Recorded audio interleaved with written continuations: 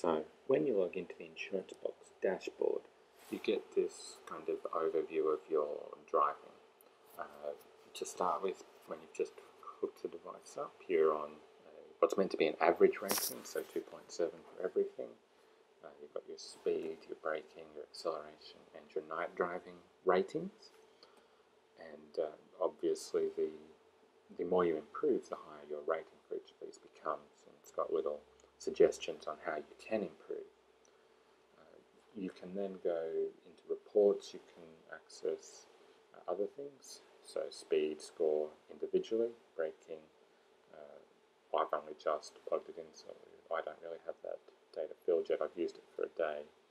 Uh, you can go to journeys, so you can see the road type usage. Uh, that's odd. Um, not sure why that's come up. Uh, so you, yeah, you can go in and see your road type usage. Uh, interesting that it's made that available to me after one day of driving, but it's not making the other ratings available yet. Uh, so you can see I've driven so many, um, in so many different speed zones, 50, 60, 70, 100. Oh, why is that coming up again?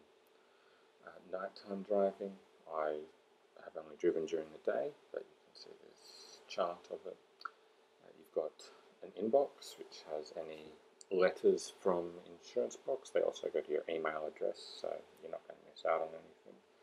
Um, this is just uh, the first email I got after plugging the device in, basically telling me my dashboard was available and my password. Uh, you can supply documentation online if they've asked for anything in addition. And uh, under share access, you can give other people access to your dashboard if you wish. So just enter their name and email address, and there you go. So that is the Insurance Box dashboard.